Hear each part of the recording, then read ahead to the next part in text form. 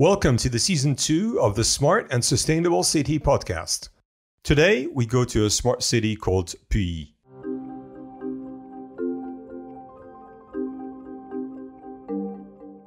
Pully is a small and quiet town along Lake Geneva in Switzerland.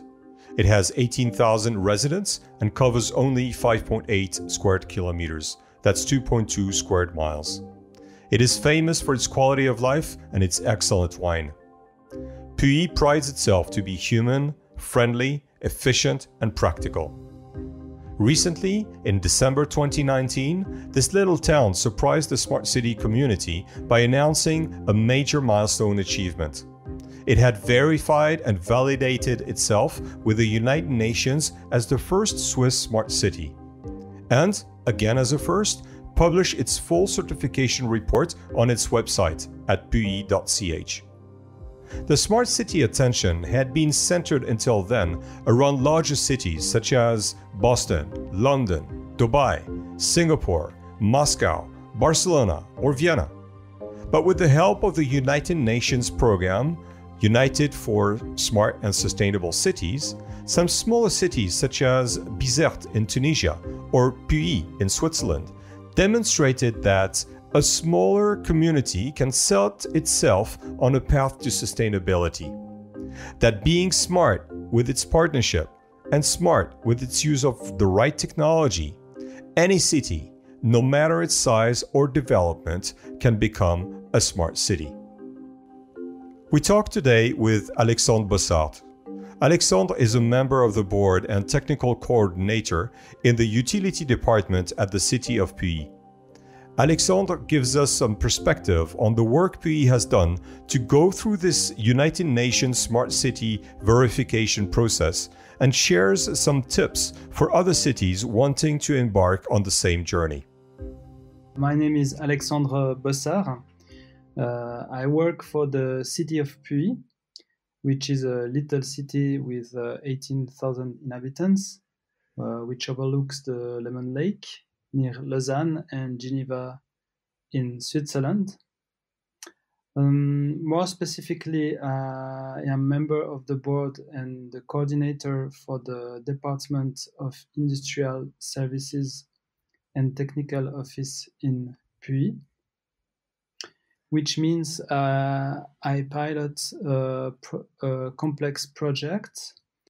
The surface of the city is 5.8 square kilometers Yes. uh, or 2.2 square miles. So it's it's not very large, is it? No, it isn't uh, very large. It's a little city, but also our our size, little size, is, is an advantage because we are um, uh, little enough to be very agile and to know everybody in the administration. So to lead projects, it's very useful, and we are uh, enough uh, big to have all the basic competencies to to lead uh, complex projects and smart city projects, for example. And Pully is also a wine country. So you have very good wine actually uh, in in Pully, and it's both red and white wine. Yes, we have both red and white wine, and uh, the the city uh, has uh, its own uh, vineyard, and uh, we have uh, we produce uh, uh, white and red wine. Excellent, fantastic. So another reason to come and and visit the city. and taste the the the local production. Yes. It's it's not just a great view and the fantastic uh, uh, Lake Leman, as you call it. So it's Lake Geneva, uh, or you call it Lake Le- right? In in in Pully. Yes. Mhm. Alexandre, why did Pully decide to embark on this verification journey with the International Telecommunication Union? For us, it uh, it was um, a pilot project. It was uh, effectively a, a journey. Um, so we we suggest to our uh, politician to to do this uh, this uh, to apply this methodology, and they, they accept. And uh, the idea is to have uh, a tool which, which can um, help politicians and also the administration and the citizen uh, for piloting the, the the city, the development of the city. So the tool is useful to give directions uh, for politicians. Does does it help you assess the situation through all the KPIs that you mentioned? So you do a, a first assessment of what is the situation in the city. Yes, it is an assessment. Uh, this assessment is useful for the the medium and long term initiatives.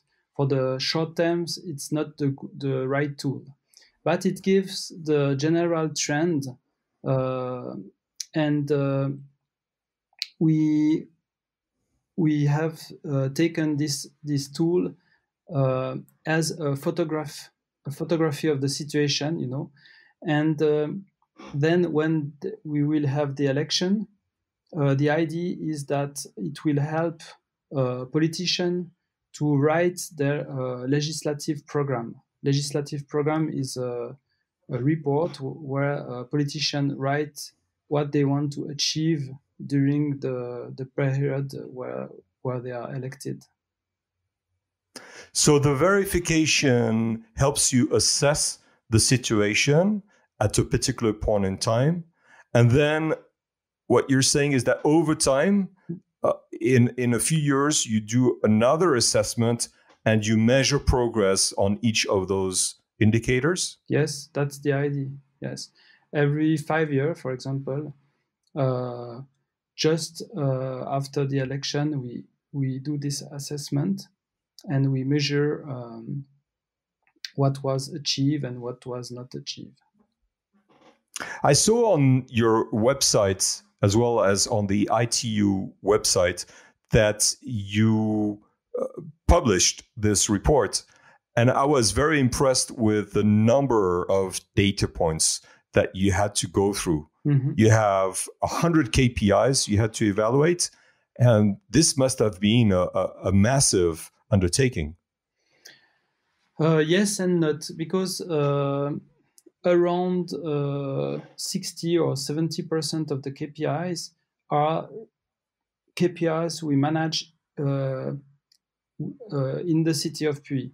So we have those KPI. For example, we have to produce those KPIs for the report at the end of the each year. We we write a, a general report, uh, uh, gest, gestion report. We we call this document. Man- the management report or management uh, report where you you you write what you have done during the year what are the the, the targets uh, which are achieved etc so around 70% of the kpis were already measured uh, on on this report and 30% of the kpis uh, are measured by the um, regional level or the national level. So that was more difficult to to to, to calculate or to find those uh, those KPIs. But now we know where we we must where we can find those KPIs, and that that took a, a, a certain uh, effort to to achieve uh, uh to collect those uh, those KPIs. I see. So some of the information was available locally, and some of the information you had to go out to different organizations in the country to collect them. Exactly. But as you have to go and do the next survey, now you know exactly where to find the information, mm-hmm. and the process will be much faster. Exactly. Uh, I hope so. I'm sure it will be much uh, faster. Yes. Mm-hmm. And eh, give us a sense of what are some of those KPIs because we mentioned how many KPIs were there? Is about 100 KPIs? Uh, officially, there there are um, 87 KPIs, but some of them have uh, sub KPIs. So uh, at the end, it's around uh, 100 KPIs. Yes. Uh, so the, the, the kind of KPIs uh, you have um, uh, KPIs based uh, on smart theme and KPIs based on sustainability themes. So, for example, for smart themes, you have open data or uh, percentage of smart city smart electricity meters um, and for uh, sustainable development themes you have for example um, drinking water quality or uh, greenhouse gas emission or uh, low carbon emission passenger ve- vehicles etc and you, the, the proportion is around 30% of the kpis are smart KPIs and 70% uh, of KPIs are uh, sustainability, sustainable KPIs. And all those uh, KPIs I, are based on um, the UN uh, sustainable uh, objectives. And in collecting all of that information, did you collaborate with the United Nations to better understand what each of those KPIs meant and how to collect the information? Uh, yes, we have uh, we had a, a, strong collaboration with uh, ITU, um, and when we had question, we we asked to ITU uh, how we how we can how we have to measure uh, that kind of KPIs because uh, sometimes it's a uh, it's a bit difficult to understand how to measure it.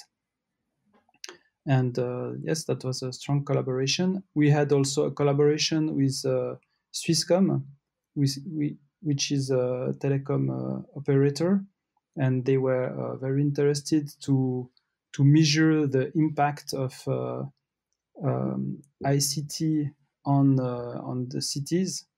And uh, we work uh, we have a strong collaboration with them also. Was it hard to uh, once you had the measurements for each of the kpi to define a target? uh, were you actually asked to define a target for each of the KPIs, or was this not mandatory? Uh, in in the in the United for Smart and Sustainable Cities Initiative, which is the name of uh, this uh, ITU methodology. Um, you you don't have uh, any target. You just have the KPI. You measure the KPI. So you have one measurement, but you don't know is it good, is it uh, bad, uh, where I am. That's why we did a second step, and we collect uh, the the target values based on the on the Swiss laws. It took uh, around uh, I don't know perhaps two months to collect all the all the target values and some of them we had uh, uh, target values based on laws, but sometimes uh, we didn't find any laws to, to have a target value, so we took statistics, or we said we don't have anything, so we can't measure uh, the the target. So the process doesn't require you to have a particular target for each KPI, but you went above and beyond the process to set your own objectives and targets for each KPI and to measure the performance of the city against those targets. Uh, uh is this correct? Yes, it is correct. And I, I think it's a work in progress uh, uh, job because uh, uh year after year we will perhaps find a better target value and with the with the discussion with the politician or with the citizens we can adapt the value. And uh, i think uh, uh, yes the target values it's very useful to know where i am uh, now um, and uh, but it will uh, years after years we, we will see an evolution of those target values I see in your report that you spent a lot of time in representing each of the metrics, each of the KPI and also to provide your politicians with a general representation of what the study says.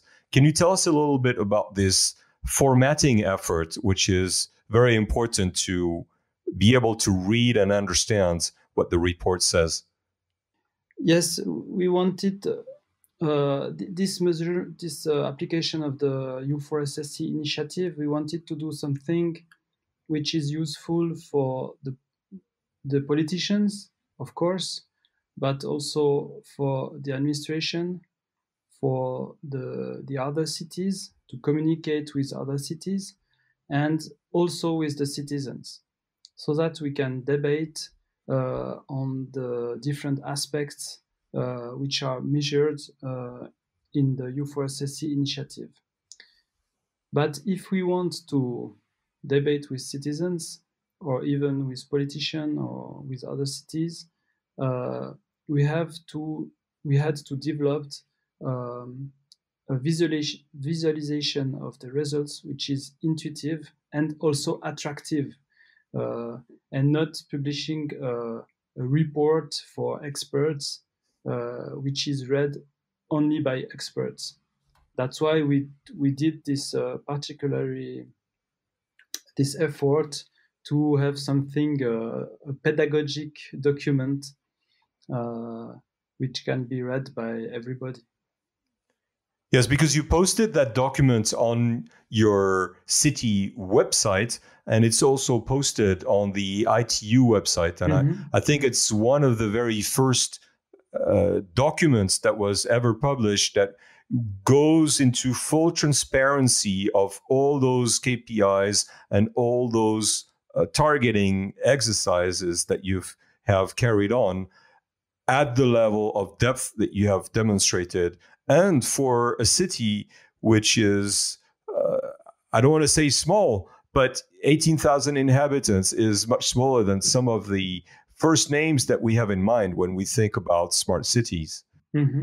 was it a difficult exercise to uh, discuss before starting the program uh, to to discuss with city officials and your colleagues? Uh, was there a lot of discussions before actually launching the the project uh, we, in fact, we first we ask uh, uh, the other chief of the different departments. We ask them, are they interested in participating in this um, initiative? And they approved. And then we we went to the politician and we asked also the politician, are, are you interested? And, and they also approved. So it was more a bottom up uh, process than a top down process, you know. And uh, politicians said, okay, we are interested. And uh, then uh, we developed, we worked on this initiative. And that uh, whole preparation phase and uh, trying to rally uh, agreements among all your colleagues and the politicians. How long did that process uh, take? It was very short. Uh, we had the first meeting with ITU end of uh, February, and uh, we began the the measurement uh, in April. So it took around one month. What one month to to get alignment within the city exactly. about and the it, project. And this is very important uh, uh, to have this alignment. Otherwise, and, uh, you don't have access to all the KPIs or yes. Right, really because everybody contributes. A, yeah, it's it's very important to have a participative approach, uh, so that everybody partic- uh, contributes to the uh, to to the effort. And then you embark on the collection of all the information that you needed according to the ITU. You worked with ITU to help you understand those different metrics. How long did that uh, period take, the collection time? Uh, we collected uh, the KPIs uh, from April 2017 to September 2017. So around three months not at full time. Uh, uh, and then uh, we had to wait because uh, the the assessment the assessor uh, there is there was only one assessor for the 50 uh, cities worldwide who is uh, based in uh, in Canada so we had to wait that he's free to he has uh, time to to come uh, in in Pully to do the assessment, and he did this assessment uh, in February 2018, and in uh, April we received a certification. And how long did his assessment take? Basically, he practically he comes over to the city, and then you present the work that you have done and the uh, information that you collected Yes, we we he stayed uh, two days in Pully, so we stayed in a in a conference room during two days, and uh, he asked us a lot of questions about the KPIs. He took uh, one KPIs KPIs after one KPI, and uh, um, we uh, we we are we answered uh, his questions.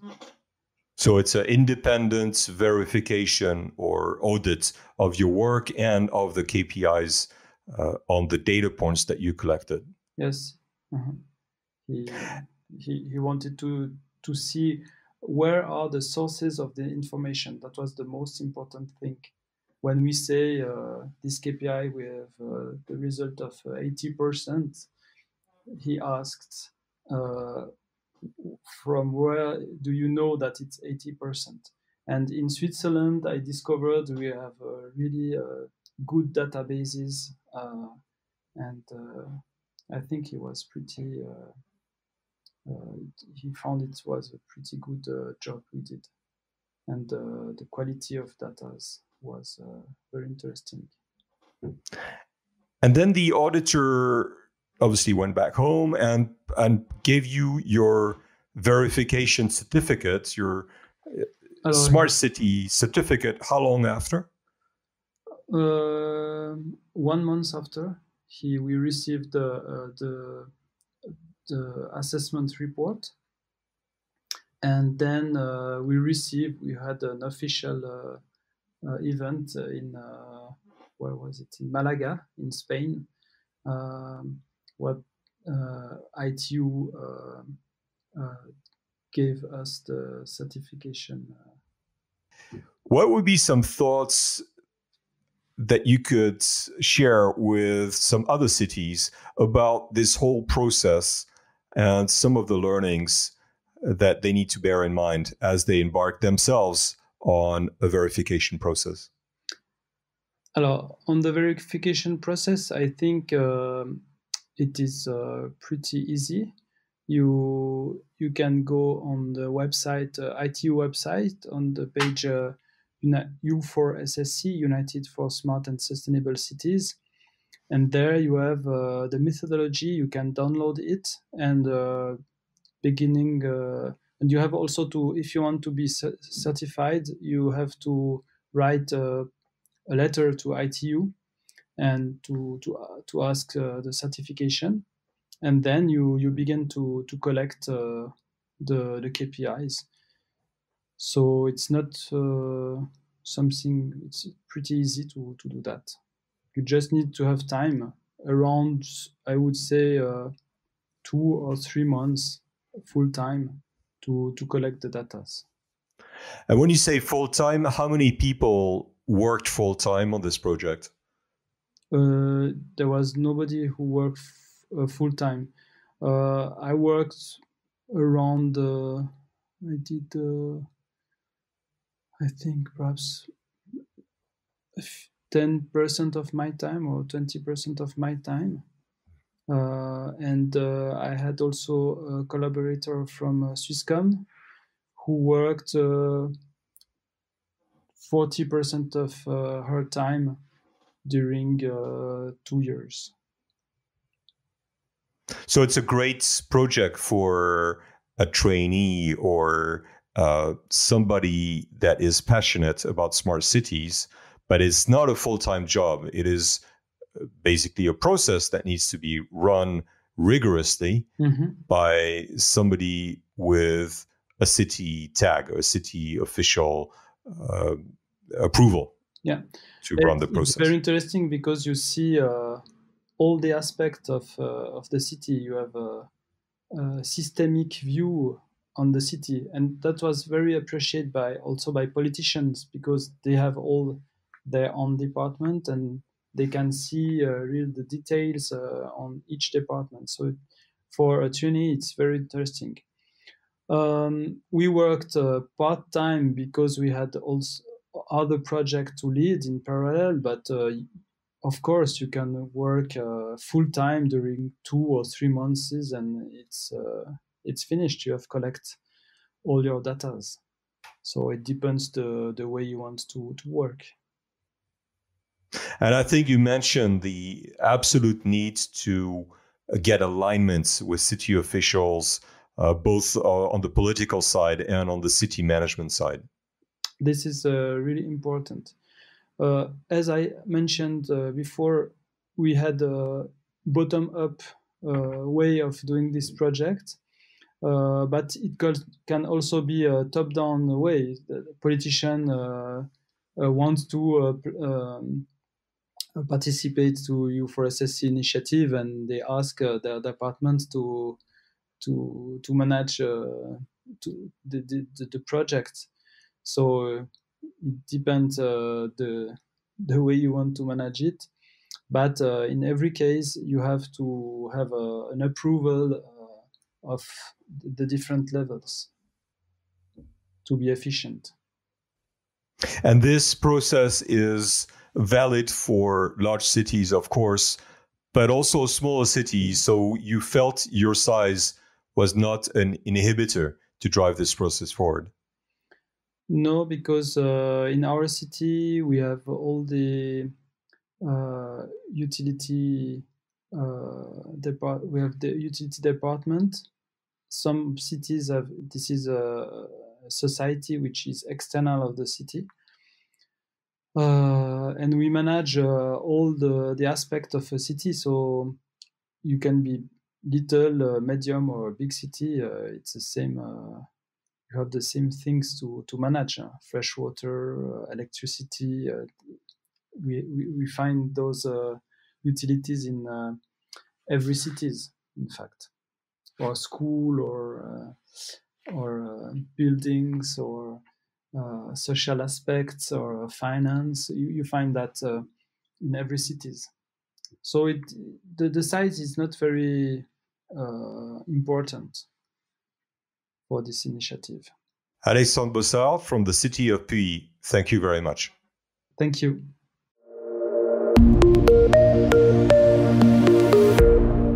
Thank you for listening to the Smart and Sustainable City podcast.